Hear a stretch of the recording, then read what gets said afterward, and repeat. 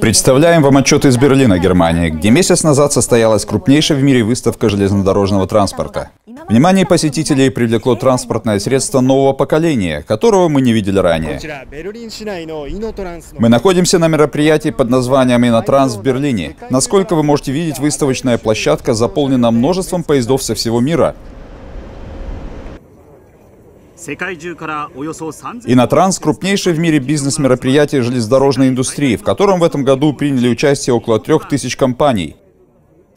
Японская Hitachi Limited представила свой двухэтажный скоростной пассажирский поезд. Он поступит на службу со следующего года в Италии. А еще на выставке есть одно белоснежное транспортное средство, которое выделяется среди других тем, что привлекает в себе большое количество посетителей. この白い乗り物一体何なのか Что это за машина? Давайте взглянем поближе. Здесь три ряда по два места, всего шесть мест. Салон довольно просторный.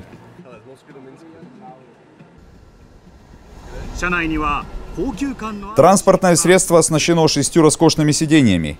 Изнутри оно выглядит как большой автомобиль или лимузин. На мониторах отображается географическая карта. Это инновационный транспортный модуль, сделанный в Беларуси и рассчитанный на скорость до 500 км в час.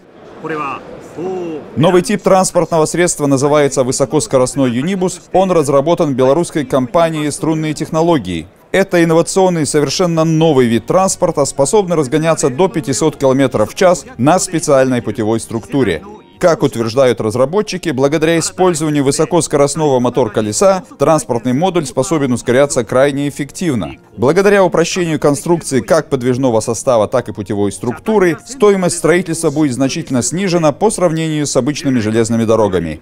В долгосрочной перспективе предполагается, что расходы на техническое обслуживание составят приблизительно одну пятнадцатую часть от стоимости эксплуатации поездов с линейным двигателем.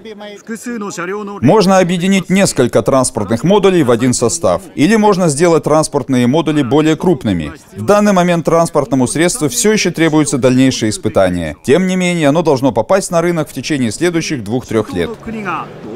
Некоторые страны уже проявили интерес к внедрению инновационного юнибуса у себя. Компания «Струнные технологии» также разрабатывает несколько типов транспортных средств следующего поколения, созданных на базе современных монорельсовых дорог или канатных дорог. В будущем облик и способ наших ежедневных поездок и путешествий может радикально измениться благодаря Skyway.